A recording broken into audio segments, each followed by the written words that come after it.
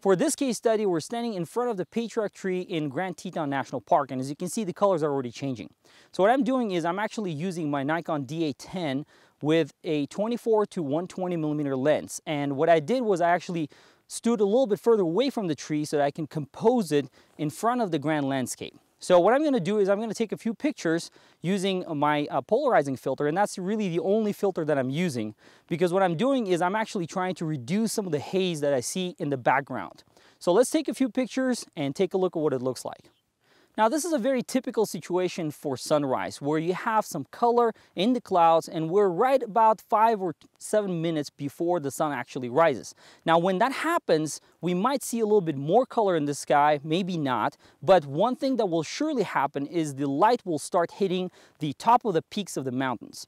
And at that time, I might actually start uh, using more filters, and in this case, I might use a graduated neutral density filter, or perhaps resort to an HDR technique in order to not blow out the top of the mountain.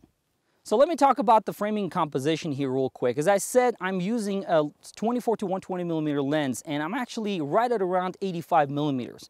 And the purpose here is to try to show the tree in front of that grand landscape and not make it appear too big. It's a large tree. Now, if I were to use a wide angle lens, I would be really up close to it and I would exaggerate its size and perhaps even make it look much larger than the landscape behind it. And that's not what I'm trying to do here. So in this case, it's a really beautiful setting. I actually moved away from the tree about maybe uh, 100 yards or so. And by keeping this distance and then zooming into my subject, I'm able to make it look really proportional to the landscape. Now, in terms of my composition, if you take a look at the back of me, you can see that there's actually a V right there in between the mountains. And I actually have the tree composed a little bit to the right of the frame, while the left side of the frame is occupied by the, the Grand Teton, the, the, the highest peak that we have here. And because of that, the Grand Teton is actually a little bit overpowering just because it is the highest peak. And then on the right side, to balance out the framing, I have this tree. So that's basically my composition here. Now it looks like the color is already reaching the peak and I'm going to take a few pictures and I'll get back to you in a moment. All right, we're back. The sun is up and I want to talk about what happened in between while I was shooting. Now, I was hoping for some color in the sky. Unfortunately, I didn't get any. And part of the reason was because there was a blockage on the horizon. There were clouds right in front of the sun. But something really cool happened in between, which is uh, at the right moment, uh, there was a slight opening in the clouds that allowed the sun rays to pierce through and shine light right on top of the peaks. And that was really beautiful because that allowed me to have, have an additional impact on the balance that I'm trying to create. Now remember, the left side is a little bit more overpowering compared to the right side just because the peak is higher. But I have the tree on the other side. And with the color being on the top of the peak, as you can see in this picture, what I was able to do is I was able to achieve perfect balance. Now, this is not a simple balance that we've talked about so far where you're just having an element in the frame counterbalance the other element.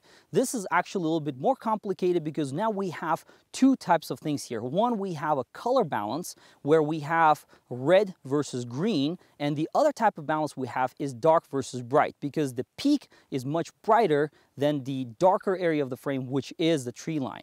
And we also have the color red on top of the mountain balance the green on the tree line, which creates a really interesting color harmony. Now let's talk about the key elements of composition here. My tree is obviously my primary subject. That's what I want to highlight. But at the same time, the secondary subject, which is the mountain range behind the tree, is what complements the primary subject. And for that reason alone, I have to be very careful about how I frame this particular image. Now, as you can see, what I've done here is I've actually separated the tree, which is my primary again, from my secondary, the mountain range by moving away from the tree and making sure that none of the branches or the tree trunk itself are actually interfering with my secondary subject and not cutting into it. Now it's part of the secondary subject, but I don't have any part of the primary subject cutting into the edges of the secondary subject. And that is a very important consideration that I kept in mind as I was trying to frame this image. In addition, I wanted to make sure that I have good subject isolation. And what I've done is I've actually made sure from where I stand that no subject is cutting into another subject. So the tree as my primary on the right side is not cutting into the evergreen line that's in the middle of the frame and no other trees or bushes are cutting into any of the key subjects, which is important because in this case, I, I actually specifically looked for this particular spot just to be able to achieve that. Another reason why this image works is because of simplicity. I've got a tree, I've got a mountain, a couple of bushes, and that's really it. I'm not overloading the viewer with too many details. Now, as you can see, my camera is a little bit tilted. And the reason why I did that is because I actually established my horizon line as the hill right under the tree. And the hill itself is slightly tilted to the right. It's a little bit heavy on the right side. So when, as I was uh, framing my shot, I actually moved my camera to match that. Now, by doing that, I actually tilted the mountain a little bit, but that's not something that my viewer is going to be able to tell.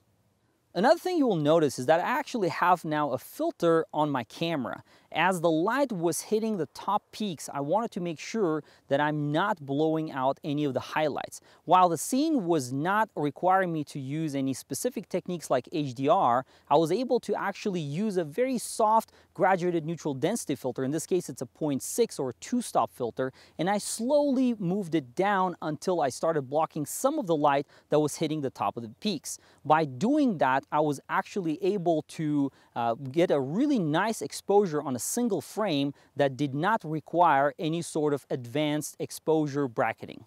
Now, if I had a very different situation where the clouds were so bright and they were really colorful, I might actually have a trouble using a graduated neutral density filter because in a case like that, I might have to resort to a three-stop graduated neutral density filter. And in this case, with the mountain range and the mountain peaks being so sharp and, and having that really difficult triangle, which with a GND filter is going to be difficult, as I slide it down, I might be darkening part of the sky sky and not the other part of the sky. In a case like that, I might have to resort to HDR. Thankfully, in this case, I didn't have to. But just keep that in mind. If you ever shoot in a sunrise situation and you have such a bright sky and you have an uneven horizon line with cut with a mountain or maybe a tree, then in that case, a graduated neutral density filter might not be the preferable option. You might resort to something like HDR to be able to get the best exposure uh, for you to be able to later work on. In terms of my camera settings, I actually set my camera to base ISO of 64 that gives me the largest dynamic range that the Nikon D810 is able to offer for me to be able to work on recovering, potentially recovering shadow and highlight details in the scene.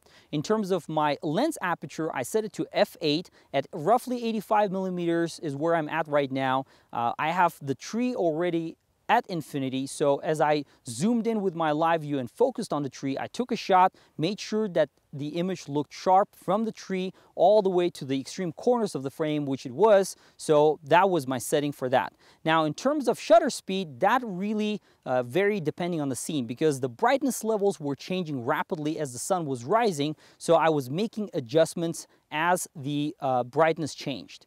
As I was shooting, I set my camera to manual mode and I was adjusting the shutter speed so that my image looks as bright as possible and that's exposing to the right. So in this particular case, what I wanted to do is make the image bright but at the same time not blow anything out. So as I was taking pictures, I was looking and paying close attention to both the histogram and the blinkies that were showing on the back of the LCD of the camera.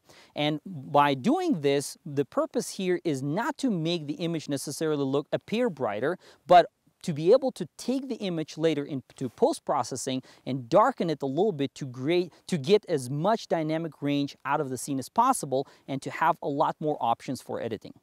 All right, I'm all done shooting here. Let's go ahead and take this image into Lightroom and see what we can do with it. Alright, I'm ready to start editing this image, but before I do that, I'd like to give you some pointers. Now, when you're in the field and you're taking pictures, just by looking at the camera's LCD, you should know what type of post-processing the image will require. In some cases, the image looks already good enough that you know you need to do some basic edits, and maybe that can be accomplished by using purely Lightroom. In some cases though, as you take a picture, you know that Lightroom is not going to work. Maybe it needs some very complex cloning, maybe some elements need to be removed or some other things need to be done to the image to make it look good. And in those situations, you might need to use Photoshop. Now with my Patriarch tree example that I'm about to edit, I'd like to divide it into two separate sections. The first section is going to be editing the image in Lightroom, and that's where I'm going to try to make the image to look as good as I can within Lightroom. But I know that there are certain things that I might need to do in Photoshop. So what I'm going to do then in the second section of this case study, I'm going to take the image into Photoshop and do some more complex editing. Now, normally when I know that I need to edit an image in Photoshop, I'll probably do some very basic tweaks to the image and make it look as flat as possible so that I could do 90% of the work within Photoshop. However, in this particular case, I'll get started in Lightroom, get it pretty much there, and then finish up in Photoshop. All right, let's just get right into it. I've got Lightroom fired up here with five images. And although I'm going to only edit one image, I wanted to give you a couple of pieces of information that might be very important. First of all, take a look at this one image here. This image I captured at sunset the prior day. And take a look at how closely the framing resembles in all the other images. This shows that the prior day, I already had a goal in mind. I already knew exactly the type of framing I wanted out of this image. So the following day, I simply came back and I framed my camera pretty much exactly the same way. So this is a very important thing for you to keep in mind. As you go out taking pictures, that scouting process is important. And this picture really shows that I already had an idea and I simply came back and re-executed that idea.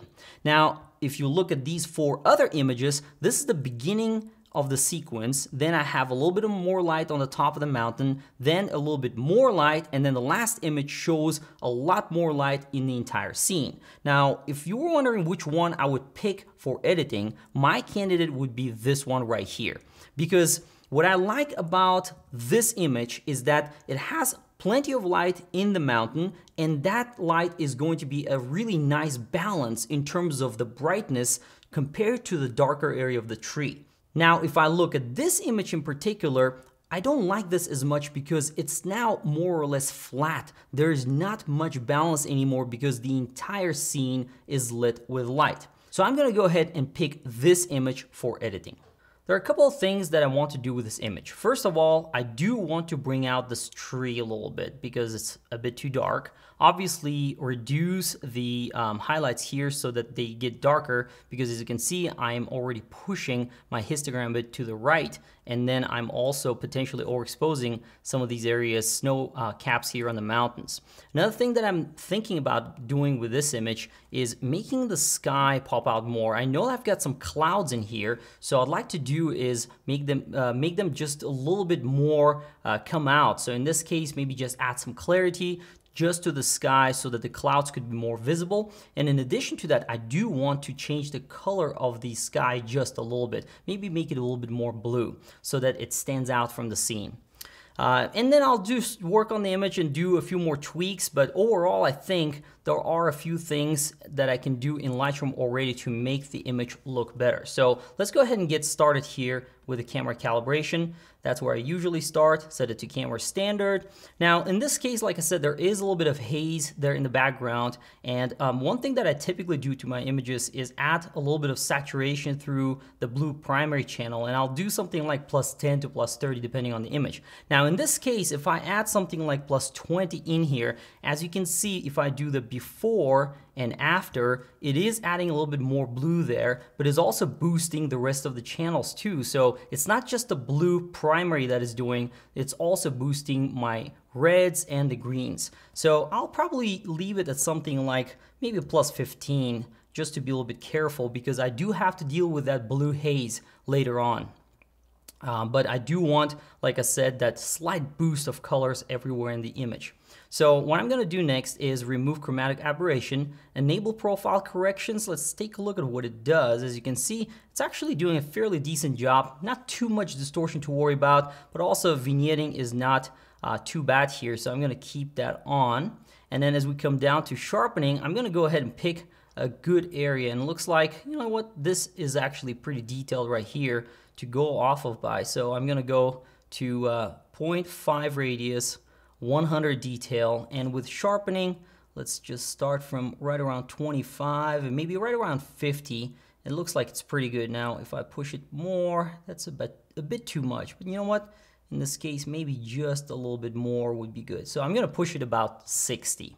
All right, with masking, I obviously want to get rid of that uh, sharpening in the sky. So I'm going to go ahead and turn on the masking and by holding the alt key I can move it just a little bit to get rid of that in the sky. Now, as I do that, you can see that here on the top left corner, I do have some dust spots. And dust spots is not something that you want to do in the very beginning. You do not want to be removing those in the beginning of the process because especially if you have a dirty sensor and there's tons of dust on your sensor, you do not want to be dealing with them in the beginning of the post-processing because it will slow everything down. So keep that in mind, keep that as the very last step in post-processing. So masking about nine is going to work out pretty well. Let's move up here. I'm not going to worry about colors at this time or the tone curve. So we come back to the uh, basic panel. Now in the basic panel, I am uh, looking at this area right here and it looks like, as I said earlier, I am pushing a bit to the right although changing some of the settings earlier already allowed me to reduce a little bit of that highlight information there. So still, I think my exposure is a bit too bright, so I'm gonna push it down to maybe 0.15, just push it uh, to the safe zone. And then from here, let's work on the highlights a little bit and push that further down. And as, as I push it further down, you can see that the highlights are in fact getting reduced. So maybe minus 65 is going to be good enough. And I know that this all is in the shadow area, so I'm going to push the shadows.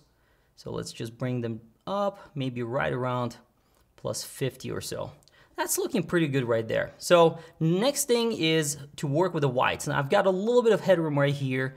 So I, I, need to be very careful about how much I push them. Remember, the whites and the blacks are going to result in added contrast. So the more I push these up and down, the more contrast I'm going to get in, in this overall image. But I've got to be very careful about how much I push. So Let's see how much we can push. Maybe right around uh, 30 or so is going to be pretty good. And then with the blacks, let's reduce them down just a tad. I gotta be careful because if I push too much, then these areas right here are gonna get too dark and then I might have to push my shadows back again. So right around there. I think that's looking pretty good. This is the before and this is the after. So, so far so good. The image is um, not looking bad at this point. Um, the white balance here, if I set it to auto, you can see that it results in much more orange. I actually like the As Shot white balance a, a, a, lot better just because, yes, it's a little bit more blue, but then at the same time, uh, you know, it's, it's a it's a morning shot. You know, in, in the morning you expect to see some blues in the scene. So I don't mind that. Maybe I'll push it just a little bit to the right just to get it more balanced. So let's take a look at the before and after real quick. That's before, that's after. I think that's looking much better now. So right around there is good. And tint, I'm not going to mess with. I think it's, it's looking pretty good. All right, so at this point, uh, let's take a look at the presence and these sliders. Well, in these in this image to be honest i really don't think i need to add much clarity except maybe for the sky which i can do selectively for sure within lightroom but i'll probably end up doing that in, in photoshop so that i have a more refined look.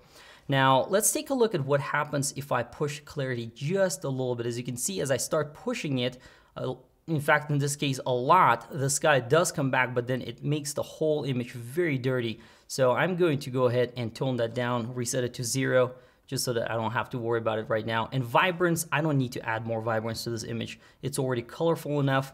Now, my uh, kind of idea with this image is to try to bring out the tree. So I am thinking about already doing dodging and burning for this image. Maybe just burning a little bit of this uh, top area here of the mountain because it's a little too bright and then using uh, dodging here to bring out um, uh, the tree a little bit and make it stand out from the rest of the scene. But in this case, uh, you know, my edit so far with Lightroom looks pretty good. I would say if I were to take this into Photoshop, this would be probably 90% there. Um, there are a couple of tweaks that I'd like to add to this. So let me come down here and there is a dehaze tool right here, which in, in this case, if you look at the distance right here, there's plenty of haze, which let's take a look at what happens if I start moving the dehaze tool uh, whether it's going to help or not. And as you can see, it certainly does help, but pushing it to something like plus 30 is kind of dangerous because now it's adding so much more contrast, especially in the foreground, which is not what I want. So there are ways to deal with this uh, selectively in Lightroom, but unfortunately, I don't think I want to go there because it would take me a significant amount of time to try to use something like the adjustment brush and, and bring that area uh, down in haze. So I'm going to probably leave it at something like plus 10 for dehaze. And uh, we can take a look now at before and after. And as you can see, the difference is pretty significant. Just plus 10 is going to make that much more difference in terms of how uh, the haze looks in the background. So at this point, I think the image looks fairly good. Another thing that I could do is maybe just uh, push out a little bit more contrast in here and see what kind of result we're gonna get. And again, as you can see, it does certainly help with the haze. Now what I'll do is haze is not something that I normally reduce in Lightroom. If you absolutely have to, then by all means go ahead and use something like the adjustment brush. And in combination with the adjustment brush, you can actually use the haze tool. But in this particular case, that's not something I want to do because again, I'm working with very fine details here. Look at this tree and all the edges of the tree. If I were to use that brush, not only would it take me a very long time to try to get all of this area into my mask, but also I would have to be very careful and it will take me enormous uh, amount of time. And for me, post-processing efficiency is very important. So I, the last thing I wanna do is waste a lot of time. So just because of that, I think I'm going to take that step into Photoshop. But for now, let's take a look at the before and after one more time. So this is the before, this is where we started, this is where I'm at right now. And the next step from here is to take this image to Photoshop. And uh, the very last thing, in fact, that I want to do before I do that, I just noticed that as I was talking, I see a little bit of vignetting on either side of the top frame and that's not something that I want to leave. And definitely the spot healing stuff that I was talking about earlier is something that I want to take care of. So I'm going to go ahead and pick the gradient tool and go ahead and fix that issue in the edges here. So let's go ahead and do that and I'm just going to dial plus 0.5, just one stop, press O, remove that overlay, and now we should be able to, yep, that looks pretty good. And let's do the same thing on this side. Once again, just half a stop. In fact, half a stop there is a bit too much. Let's just do 0.3 and that looks pretty good right there. So in, in terms of the spots, it's always easier to just zoom into the image, but in many cases you won't be able to see the spots very well. And one of the ways that you can take care of that is as soon as you go into the spot healer tool, right here on the bottom, you'll see something that says visualize spots. And if I click that, as you can see, it kind of switches to the same thing that I was showing earlier when you hold the Alt key and you start moving it, it shows you the kind of a black and white mask. And you can actually move it here from the left side all the way to the right side. And at some point of time, you will start seeing these dust spots that need to be taken care of. So in this case, all I'm gonna do is select the heal tool here. And I know that one of the dust spots is right there. Go ahead and click on that and then select here, do the same thing here, and then get rid of that one there. And then the last one is going to be right here. That looks pretty good. Maybe move this guy just a tad down.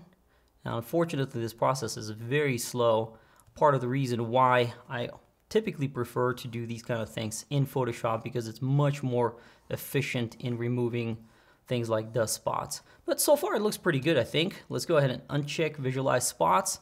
And then I'm going to navigate back to that area where I was just taking care of those spots. Let's go ahead and click close. As you can see, I did a pretty good job there. So for the most part, the image is ready. Now, another thing that I told, told you about earlier that I wanted to do with the image was to make the sky a little bit more blue.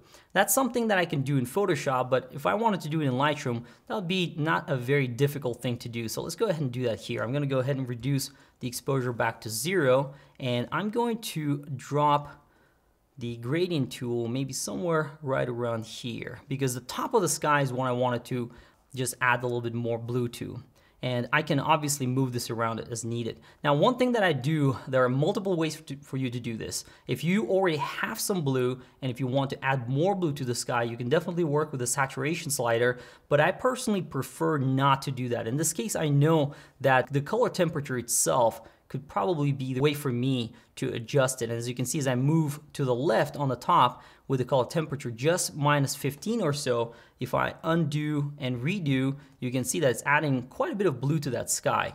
So the only thing you have to be careful about is if I start to move it down here, then it's obviously is going to add that blue to the areas of the mountain here as well, which is probably not what I want. So right around here is going to be good enough. And let's see what happens if I move it just a little bit more.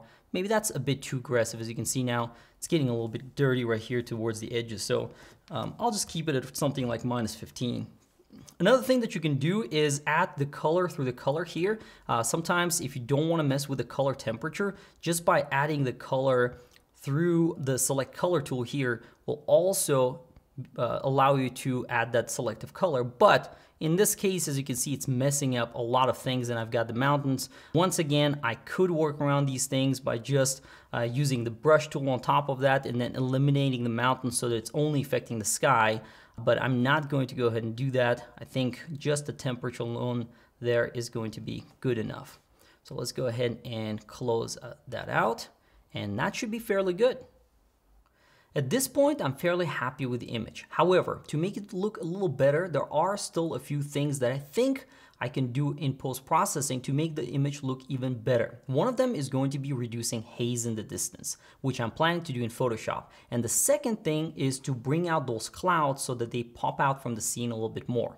Now, what I'm gonna do is I'm going to right click the image and I'm going to click on edit, edit in Photoshop. Now, while Photoshop is coming up, I just want to remind you that I am using my pen with a Wacom tool. And the reason why I'm doing that is when I know that I need to edit a, an image in Photoshop, it's so much more convenient to use the pen. Especially when I start doing things like dodging and burning, a pen is irreplaceable. So normally, if I'm just editing, editing images in Lightroom, I will not be using a pen. I'll just rely on the keyboard and a mouse or a touchpad, and those work just fine. However, every time when I need to use the brush tool, this is going to be a much better way to do it because I can control uh, the uh, brush size and also can control how much sensitivity there is in the brush. The more I apply pressure to it, the more it's going to draw. So those kind of things, unfortunately, you cannot do with a mouse. Now, the image is open. I'm gonna go ahead and maximize Photoshop. Now with the haze removal, I'm going to rely on software called Nik Software, and it has a specific plugin called Nik Software Viveza, which does a very good job with removing haze. So let's go ahead and go to Nik Collection Viveza 2, and this is really good software. I'll show you what it does and its power in a second, but um, I'm gonna go ahead and select the add control point. and what I'm gonna do is start here from the left side of the scene, and I'm going to kind of start from here, make all my settings with these sliders, and then just simply duplicate that effect to the right side of the scene so that I can reduce that haze in the distance. So one of the things that I normally start with is reducing brightness. And as you can see, as I reduce the brightness, it is actually helping reduce that, that haze just because it's getting a little bit darker. Haze by itself kind of looks, you know, cloudish white. So as you reduce the brightness, it certainly will help. The next thing you want to do is increase contrast. As you can see, if I push contrast, you don't want to be pushing it too much because then it's going to make it look very unreal here. So you want to be pushing it maybe to something like 30 or so. Another slider that certainly helps is blue. Now in this case, I do have some blue and obviously this line of evergreen doesn't have as much blue. But again, it was shot in the morning. My white balance is set to be a little bit more blue. That's kind of my preferred look. So I didn't want to change that. And what, what I can do now though is I can selectively reduce that blue in the evergreen. As you can see, as I start to reduce it, it's becoming more green. Now, obviously I do not want to have that green look because that doesn't look very good. So I'm going to reduce blue just a tad, maybe at most by uh, minus 10%. Now, let's take a look at the before and after. I'm gonna click on this preview check mark. As you can see, the difference is drastic. Just in that one area alone, the amount of haze that I was able to reduce is very significant. So if I click on duplicate now, I should be able to take exactly the same pointer and now move it to other areas that I want this haze reduced on. So I'm just going to reduce that area just a little bit, duplicate it more, push it out to this area right here. Just make sure that each time you do it, you put it in a more or less consistent area where there's haze. And you know I'm selecting these specific darker areas because as you can see the effect will change significantly depending on where I locate it. And that's kind of the nice thing about these uh, Nik software tools is that they apply to specific colors and it doesn't go everywhere else.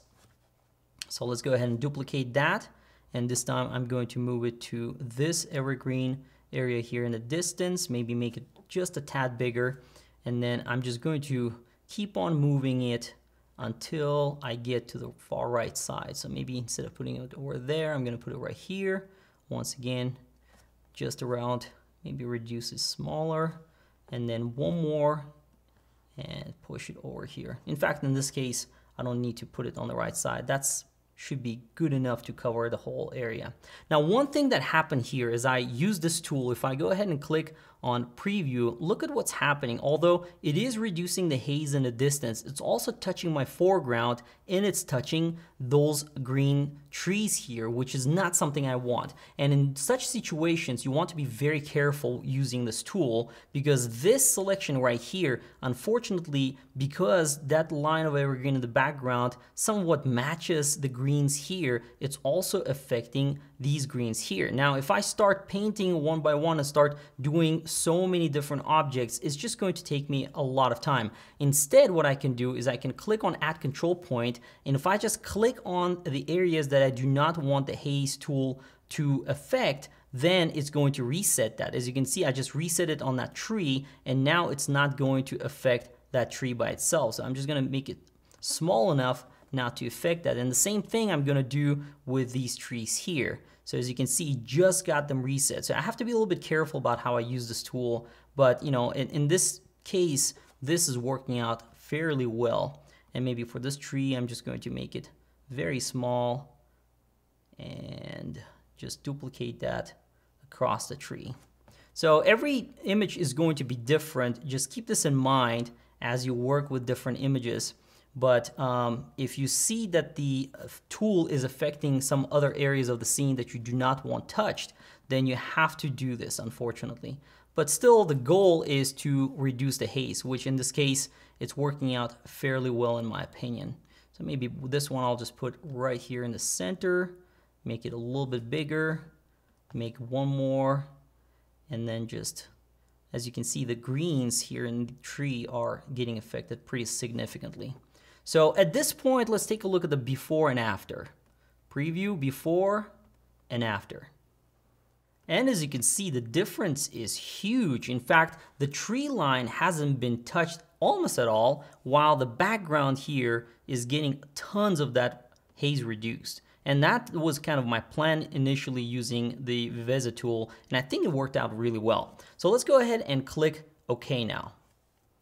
And right now Photoshop is applying that on a new layer and let's take a look again. If I click on the eye here to turn it on and turn it off, uh, the foreground here hasn't really been touched all that much. The trees are still the same way, but then the background it has a lot less haze. So again, I, that's something that I can work on more and I can reduce that blue. But if I do that, then I get into the danger zone because then I can make the image look a little bit more fake. Blue is normal, especially sunrises and sunsets. So I, I am intending to keep some of it in the scene.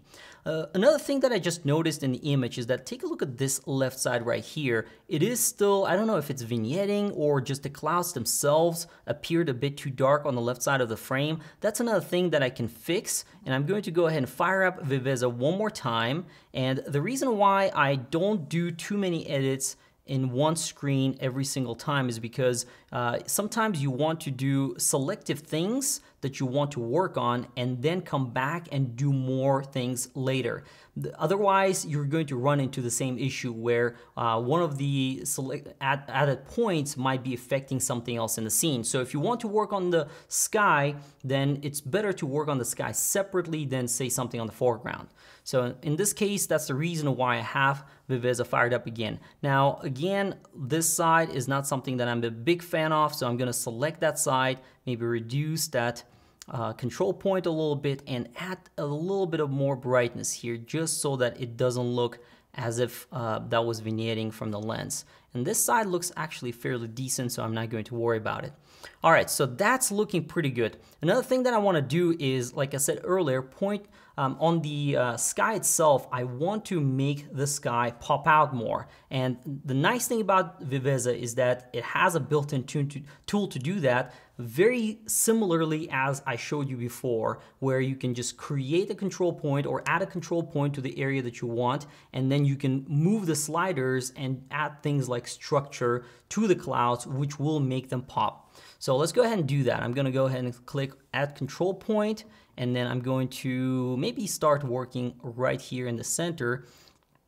Reduce the size just a little bit so that I'm not affecting the uh, uh, any of the surroundings. And what I'm going to do is reduce the brightness just a little bit, maybe just by um, minus 8 or minus 10 or so. And then structure is what is going to bring those clouds out. Now look, take a look at this. As I push it, obviously you don't want to be pushing it too extreme to the right because then it's going to look very dirty and ugly. And the last thing I want is to make that um, in this image. So I'm going to reduce it maybe to something like around 30 or so.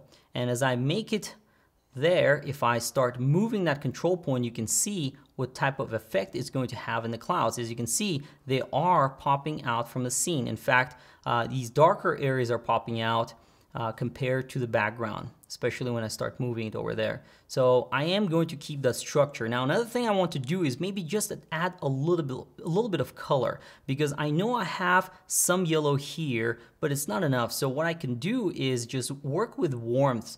And as I move it to the right, that's really bad, obviously. So I need to be really careful about how much warmth I add to the sky. So maybe just add a little bit, something like 10% or so.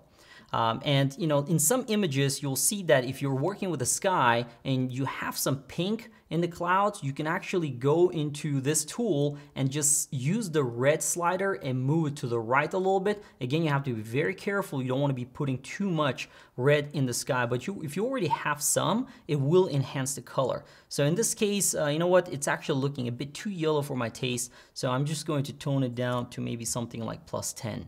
And at this point, I'm just going to duplicate it, move it to the right, and just do the same thing until I hit the rest of that cloud. So right now it's adding uh, structure and a little bit of that warmth to the image. Uh, let's do the same thing right here at the top and maybe just around here. And the last one, maybe move it over here.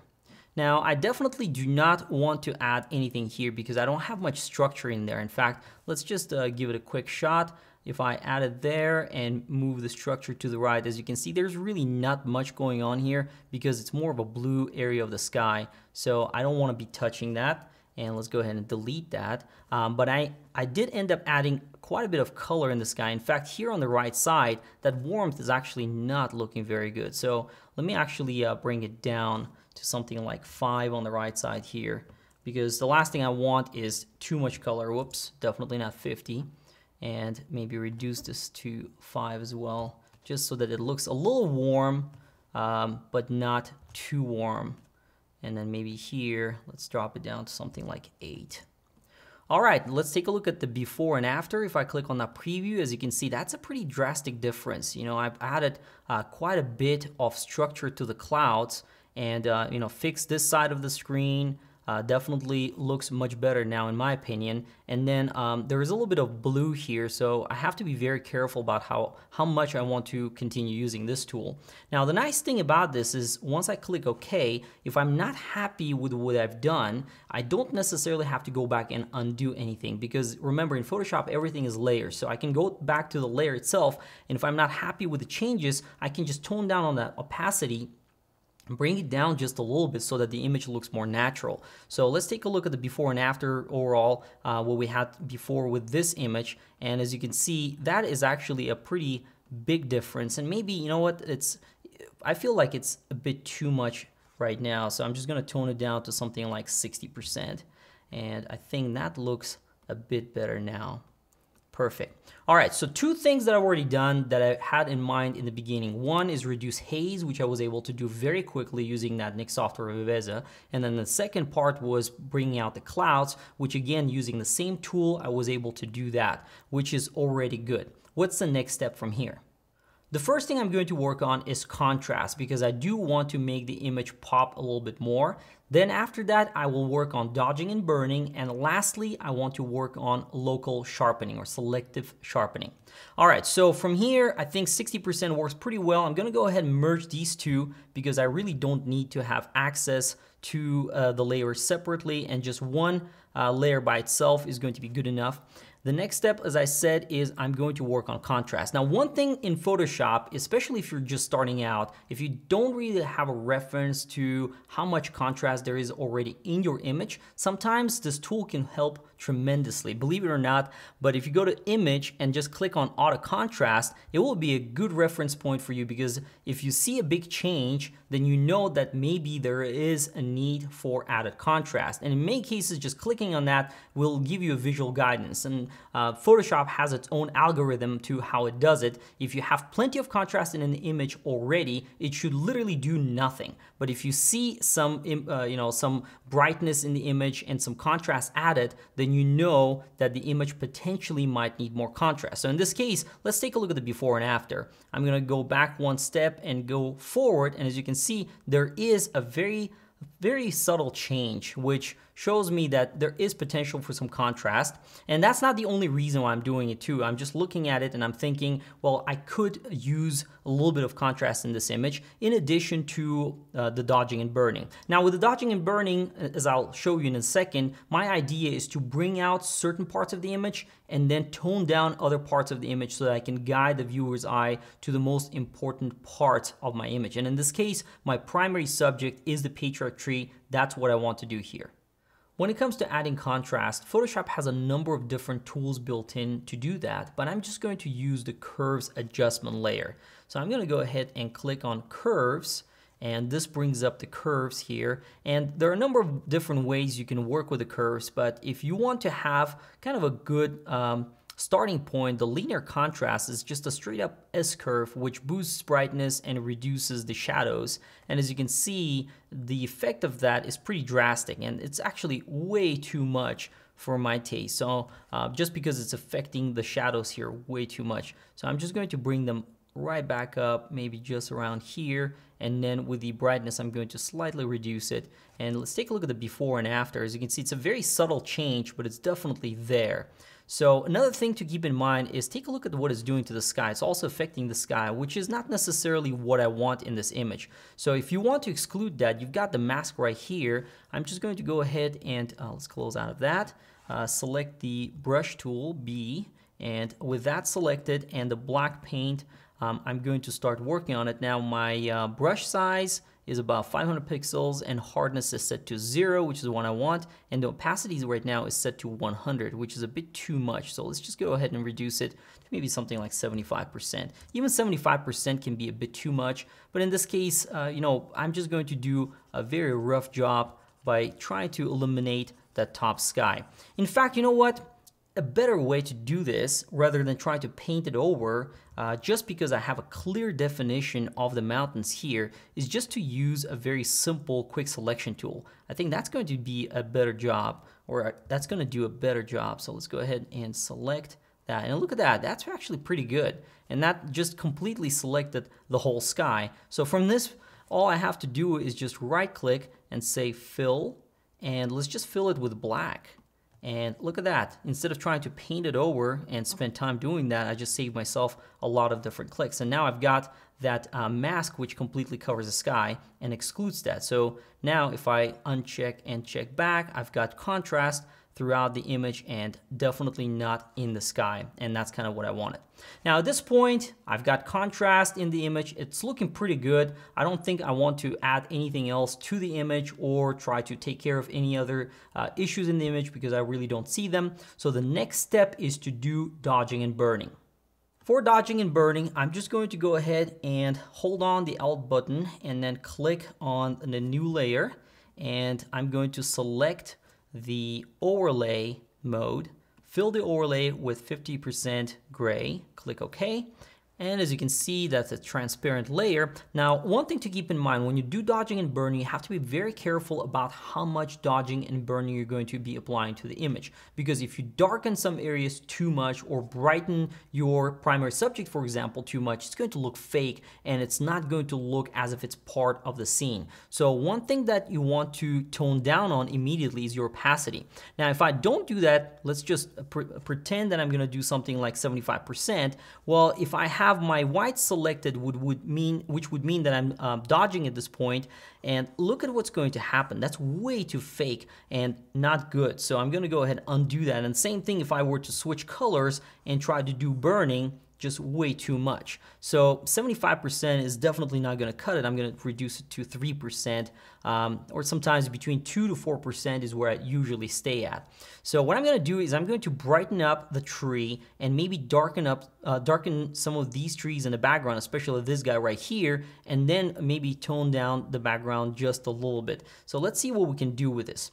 I'm going to go ahead and switch the colors so that I have the whites and this is going to be for my foreground. Let's reduce that size of the brush and I'm just going to start painting these areas right here. And very subtle adjustments, as I said earlier. All I want to do is just bring out the tree compared to the background. Right there. Good. Now I'm going to go ahead and show you what I've done so far. So if I um, do the before and after, as you can see by turning the layer on and off, it's very subtle, very, very subtle change here just to the tree. Now I am potentially overpainting these areas here a little bit, which is really not that big of a deal to be honest, because we can't really see that much of it.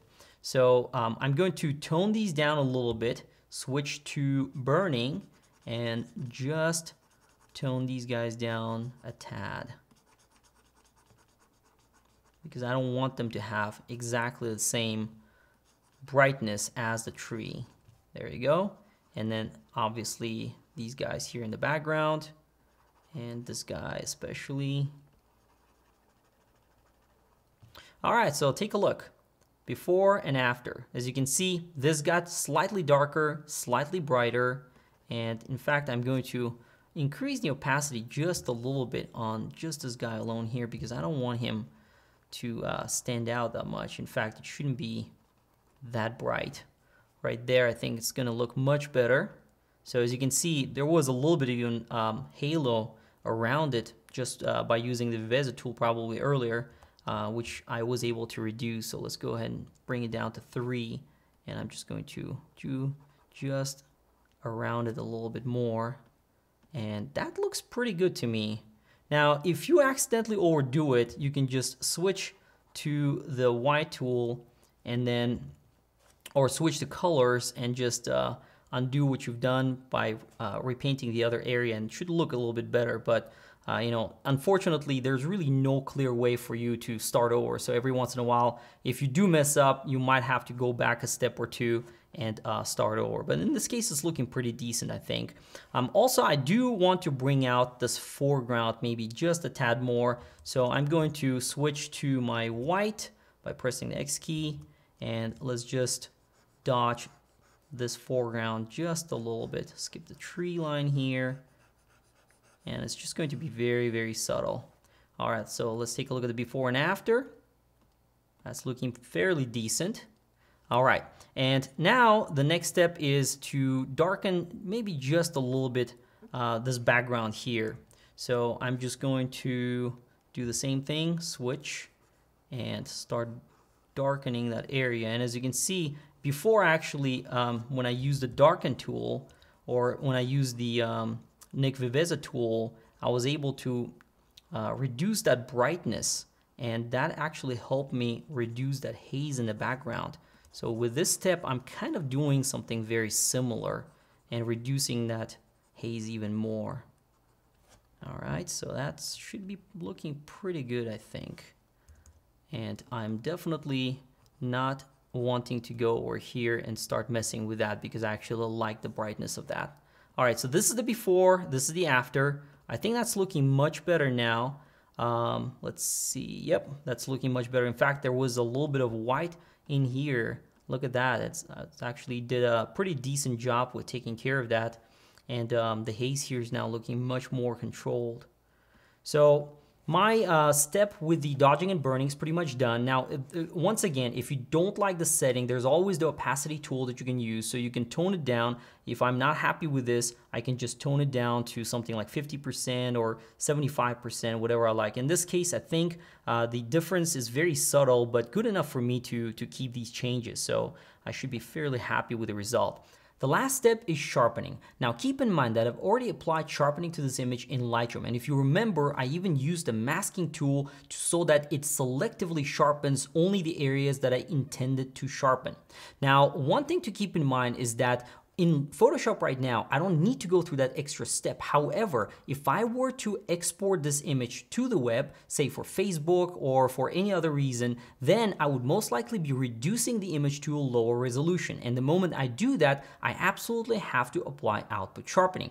Now, after I save the image in Photoshop, I could go back to Lightroom and export it in any size and then apply output sharpening, which would work just fine. However, if you want to do it in Photoshop, let me show you a way that works really well. So what I'm going to do is I'm going to go ahead and hit Command Option I, which brings up the image size, and I'm going to set the width of the image to 1200 pixels. Now, as I do this, I do have the option right here for the resampling method, and typically it's set to automatic. Now, whenever you reduce an image, if you set it to bicubic sharper, what it will do is as it downsamples the image and makes it smaller, it will add a little bit of sharpening to the image. So depending on what type of sampling method you use, you might need to add more or less sharpening. Typically, I just go for bicubic sharper. So I'm gonna go ahead and select OK now.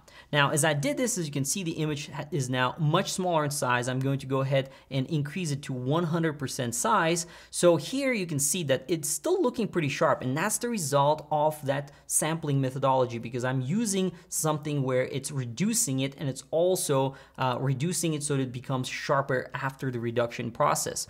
But what I'm going to do is I'm going to add another level of sharpening on top of that, and I'm going to use, uh, again, uh, Nik Collection tools just because they're, I can do that much quicker and I have that selective sharpening capability built in. So let's go ahead and do that. But before I do that, I need to first gather all the layers and bring them into a single layer because that's the one that I'm going to be working on. And the crazy command for that is going to be Command Option Shift E. And as you can see, everything is merged now into one single layer. So this is not something that I'm intending to keep. In fact, I'm going to undo these changes and uh, so that I preserve my original file and not even save this image because the last thing I want is everything that I've done is reduced to now a very small resolution and I definitely do not want to save it. But just keep this in mind, if you haven't done sharpening in Lightroom and you're doing it within Photoshop, then this last layer is going to override everything on the bottom here. So if you do need to make changes to any of the bottom layers here, you will need to throw this away, basically undo your sharpening step, and then make changes to these layers, then recreate that layer and start over. So um, that is unfortunate, but that's the way that you have to work with in this situation if you want to um, use a plugin like I do here. So I'm gonna go ahead and launch Raw Pre-Sharpener, and here I've got uh, a couple of options. I've got the different uh, sharpening. I've got the adaptive sharpening and then I can sharpen the areas or the edges. I usually leave this in the middle and with adaptive sharpening, look at what's going to happen right here. In fact, I'm going to uh, go ahead and use maybe this area where there's a transition line between the tree and the mountain, maybe just lower down just a little bit. Where you want to look at is the edges here and also the tree itself. So it's set to 30% right now, which is actually doing quite a bit of sharpening already, which is looking nice. But the last thing you want is add too much sharpening. As, as, as you can see, the more I push it, the uglier it looks. First of all, I get all these really weird halos here, and then it's just not looking good. So I'm going to tone it down. Usually I keep it after doing uh, the the um, resampling, especially with the reduction method I just showed you earlier, I usually keep it right around 30% or maybe 35% at most. So let's just do about 30%. And then uh, the image quality is set to normal. Uh, it's not a high ISO image. I'm not worried about that. Now, if I wanted to make sure that the sharpening only applies to the image and not to the sky, I can actually use selective sharpening right here. And then if I just click on minus, which will exclude the areas, uh, let me show you how that looks. I'm going to actually boost it up to a really outrageous number. And uh, the way that the selective sharpening works, if I click on that minus, as you can see, and just select a control point anywhere in within that control point area, sharpening is not going to apply. So if I moved over here, as you can see, it's not applying to that tree. But you know, if I move it here, you can see how this is working. So one thing to keep in mind is that if you do want to exclude something, then you use this tool. So I'm gonna go ahead and set this back to 30, and now I'm just going to exclude the sky. So let's just do that. And uh, this tool works similarly to other tools uh, in Nik software um, package. So it should do a fairly good job. And I can just simply duplicate to and just move it around, maybe reduce it a little bit. So this tool works really well and my recommendation would be definitely to use it in such situations where you need to selectively sharpen your image. And as you can see, it actually does a fairly good job. This is after and this is the before area and sharpening that it's applying to is really good. I'm gonna go ahead and click OK. So at this point, I just applied selective sharpening. Now, if you do not want to do that directly through the tool, the only reason why I do it is because it saves time.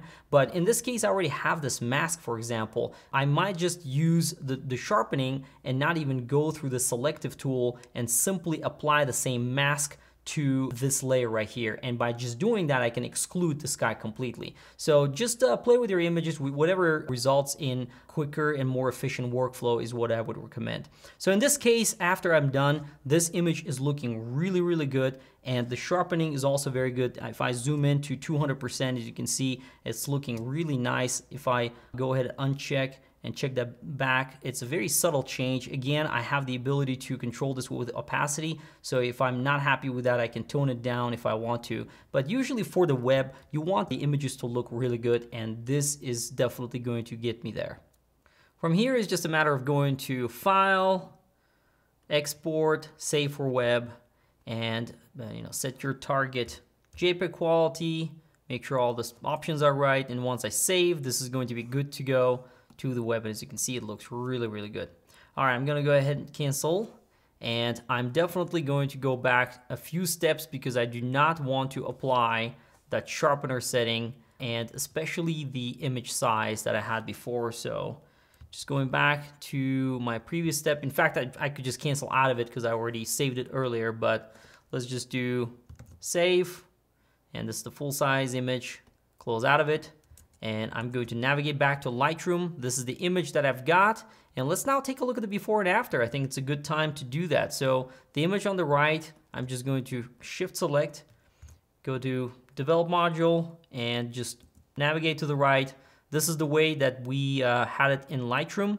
And this is the way that it looks after I've made my tweaks in Photoshop. I'm gonna go ahead and hit tab. In fact, let's go full screen. And this is the before this is the after. As you can see, the difference is very big. I was able to reduce a lot of that haze here compared to this image. And then the sky is also looking much nicer now. It's much more defined. The clouds are much more defined. And the image overall has a more vibrant look. And as I wanted to, I brought out the tree a little bit more, made everything else a little bit darker, brought out the foreground a little bit, and then also darkened the background here. So I would say that the image looks pretty successful. I'm fairly happy with the result, and that's about it.